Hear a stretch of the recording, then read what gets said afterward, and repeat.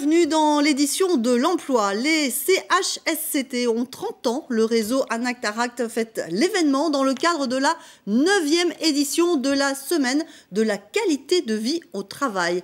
Quelles sont les vocations des CHSCT C'est ce que nous allons voir aujourd'hui avec Jean-Michel Schweizer, qui est directeur régional de l'Anact Lorraine. Bonjour. Merci beaucoup d'être avec nous. Est-ce qu'on peut présenter tout d'abord les CHSCT Alors, ce sont des comités d'hygiène de sécurité des conditions de travail. Et effectivement, euh, nous fêtons, euh, comme d'autres l'ont fêté aussi, euh, et avec les CHSCT, on fait la partie conditions de travail des CHSCT qui ont 30 ans. C'est-à-dire que les CHSCT ont été créés bien avant par différents textes de loi, et ils ont évolué en 1982 en disant que la partie hygiène et sécurité n'était plus suffisante, en tout cas pour ces comités, et que les comités devaient aussi s'intéresser à la question des conditions de travail des salariés et des employés des entreprises. Très bien, justement, on va en parler plus en détail avec vous dans un instant, et on va voir justement quels sont les initiatives qui sont prises avec euh, les CHSCT pour faire évoluer, évoluer pardon, la qualité de vie au travail. Exemple, avec les cristalleries de Saint-Louis, une manufacture qui emploie plus de 300 salariés et qui multiplie les actions pour améliorer leurs conditions de travail et prévenir les risques de maladies. Reportage Evelyne Billot, Alain Thierry, Bruno Courteau. Un savoir-faire irremplaçable des gestes répétés jusqu'à la perfection. Les salariés de la cristallerie Saint-Louis sont des artistes, une richesse pour l'entreprise. Alors ici, on multiplie les actions pour leur permettre de travailler dans les meilleures conditions. Ces dernières années, un gros travail a été réalisé avec le CHSCT sur l'ergonomie des postes de travail et surtout sur l'élimination des risques de plombémie en tant que membre du CHSCT, lorsque vous passez dans les ateliers et tout ça, l'important c'est de, faire de temps en temps des rappels euh, aux salariés. Aspiration pour chaque poste de travail, apprentissage de nouveaux gestes pour le lavage des mains, formation, information des salariés. Les démarches et les investissements se sont succédés. Un vrai travail d'équipe parce que tout le monde est concerné. Les hommes de terrain sont très très importants, je pense, dans, dans une société. quoi. Et la direction en est consciente, à chaque fois, euh, on peut parler de ce qu'on vit tous les jours. Quoi. Voilà. il y a une bonne écoute ici. Et il y a une très très bonne écoute, et des deux côtés, la direction nous écoute et les salariés aussi. Quoi. C'est important pour faire avancer les choses. Oui, bien sûr, on parle de la santé euh, des collaborateurs, quoi, donc euh, très important. Ça fait partie entièrement de la culture Saint-Louis. Et avec le groupe Hermès aussi, on travaille beaucoup là-dessus. Et c'est ce qui fait aussi que les dialogues sont très très bons avec les membres du CHSCT et avec le personnel en lui-même. À Saint-Louis, euh, lorsqu'on y rentre, euh, ben, souvent on y fait sa carrière. Donc on a des personnes qui, font 40, euh, 42 ans, 43 ans de, leur vie ici. Et bien sûr, pendant ce temps-là, ils ont, ils ont le temps de voir toutes ces améliorations qui sont apportées de longues carrières où les connaissances, les compétences s'approfondissent chaque année. Pour les valoriser, une action collective de VAE a été engagée. Elle a permis à 21 des 309 salariés de la manufacture d'obtenir un diplôme. Évolution de carrière, évolution donc des conditions euh, de vie euh, au travail. On vient de l'entendre, des témoignages euh, importants. Ça compte pour vous, j'imagine, d'écouter ce, genre de témoignages. Oui, c'est un bel exemple en tout cas euh, sur euh, le secteur lorrain euh, de cette cristallerie qui à la fois s'intéresse à la question des conditions de travail du point de vue de la santé et sécurité de ses mhm. salariés. Là, en l'occurrence, c'est une action extrêmement concrète qu'ils ont menée sur les plombémies avec leurs médecins du travail et aussi avec d'autres préventaires comme la caisse d'assurance maladie qui les a aidés à prévenir les maladies professionnelles pour maintenir en emploi les salariés qui s'exposent aux poussières de cristal et donc au plomb aussi et à différentes substances hein, qui peuvent être cancérigènes. et en même temps, c'est intéressant aussi c'est pas forcément une mission du CHSCT, mais en tout cas, c'est un travail qu'ils ont fait euh, dans le dialogue. Ils ont monté en compétences et euh, validé les acquis sur la question des compétences. Donc, quelque part, ils sécurisent aussi le parcours de ces gens-là et ils reconnaissent les compétences et les savoir-faire qui sont euh, très importants dans ce genre d'industrie. Absolument. C'est donc la semaine de, qualité de vie au travail. Qu'est-ce qui est prévu exactement? Alors pour la semaine de la qualité de vie au travail, euh, on a euh, donc euh, cette semaine, on a eu un rendez-vous hier à France Télécom sur la question des risques psychosociaux. nous étions, nous serons ce matin à Ludre dans une maison de retraite où nous discuterons des conditions de travail du point de vue de la pénibilité et de l'allongement des carrières professionnelles, parce que les entreprises ont à discuter et négocier sur ces questions-là. Et ça intéresse la question des CHSCT qui devaient être consultés. Nous serons demain mercredi à Bar-le-Duc, à Bergère de France euh, pour discuter de la manière dont les industries, euh, euh, là, avec le CHSCT, font progresser l'organisation et les conditions de travail de manière très concrète dans les ateliers. donc il y aura donc un rendez-vous meusien et avant-dernier rendez-vous, il sera dans les Vosges, à Gérardmer, chez SNWM, sous-traitant de l'automobile, qui eux aussi font des actions avec leur CHSCT sur, alors que les conditions là sont assez difficiles, hein, sur les, secteurs industriels et manufacturiers. Mhm. et enfin, tout dernier rendez-vous, on parlera plutôt non pas des CHSCT, mais de la qualité de vie au travail. Nous ferons ça en partenariat vendredi, en partenariat avec la SNCF dans la gare de Metz. Euh, et nous aurons un rendez-vous particulier parce que la question de la qualité de vie au travail est une question qui actuellement est discutée par les partenaires sociaux au niveau national pour que justement les entreprises puissent approcher la question de la qualité de vie au travail de manière un peu globale et non pas en découpant les questions compétences, santé, sécurité, mais au contraire en essayant de rassembler ces questions dans une même démarche euh, pour l'entreprise.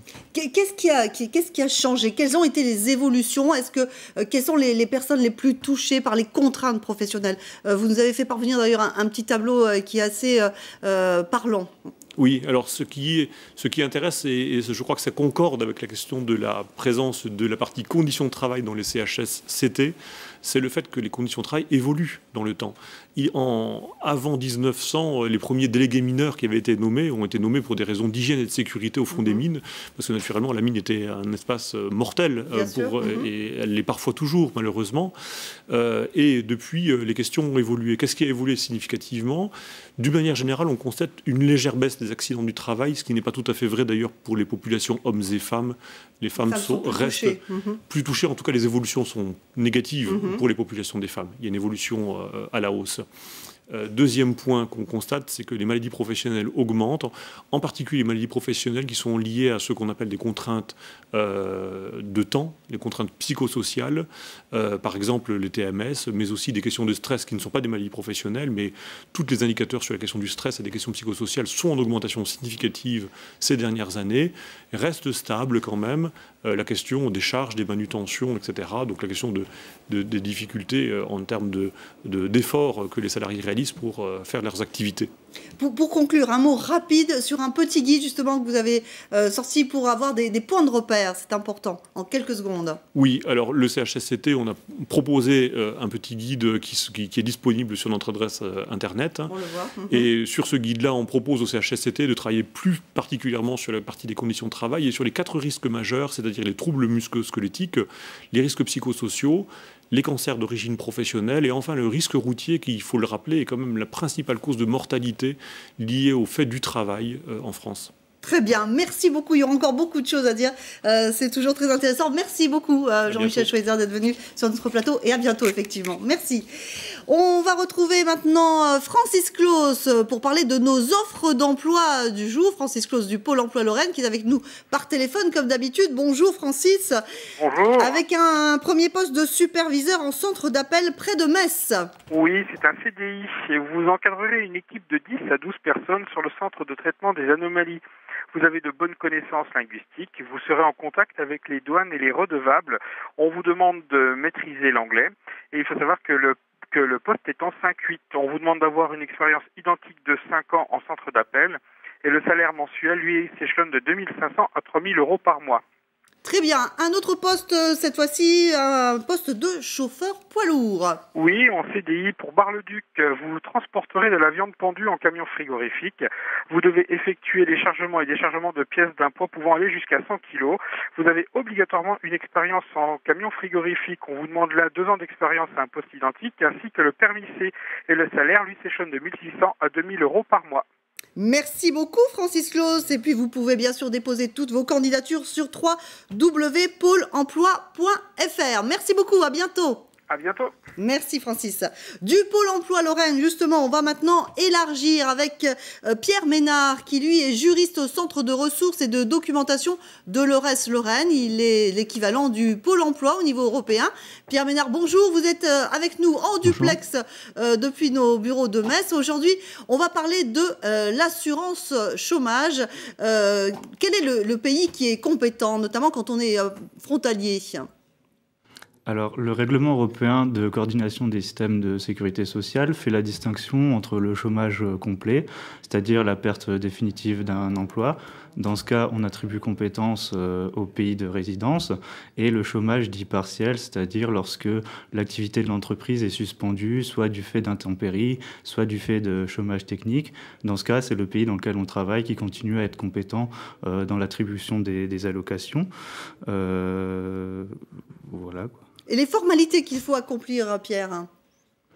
Alors, le salarié privé d'emploi devra euh, obtenir auprès de son, salarié, de son patron, pardon, un certificat de, travail euh, qui euh, certifie donc les périodes d'emploi auprès de son employeur et devra les remettre auprès du service public de l'emploi de son pays d'emploi, lequel transmettra un formulaire U1 à Pôle Emploi pour exporter euh, les périodes d'assurance euh, auxquelles il a cotisé dans, dans, ce pays. Euh, Alors, par contre, une chose importante, c'est que le demandeur d'emploi doit s'inscrire dès son premier jour de chômage pour éviter tout retard dans les paiements des allocations. Oui, effectivement, c'est important de, le souligner. Est-ce qu'il existe des, des, particularités pour les nombreux travailleurs frontaliers de, de notre région? Tout à fait. Alors, contrairement aux autres euh, salariés qui ne sont pas frontaliers, euh, les périodes d'assurance prises en compte par euh, Pôle emploi pour l'indemnisation euh, seront celles effectuées directement dans le, dans le pays d'emploi euh, d'origine. Ils n'auront pas à effectuer une journée de travail en France, contrairement aux autres. Donc. Et, également, le, salaire pris en compte pour la, rémunération, donc l'allocation chômage, sera celui qui était versé dans dans le pays d'emploi et non le dernier salaire français, comme on a coutume d'appliquer aux autres salariés non frontaliers. Très bien. Merci beaucoup, Pierre Ménard, d'avoir été avec nous euh, depuis nos studios de Metz. Et puis, on vous retrouve, bien sûr, euh, prochainement dans cette euh, édition de l'emploi. Merci beaucoup à vous. Merci à vous tous de nous avoir suivis. La semaine prochaine, c'est Francine Dubaï que vous retrouverez. Tout de suite, eh bien, place à l'information dans votre région. Passez une très belle journée et à bientôt.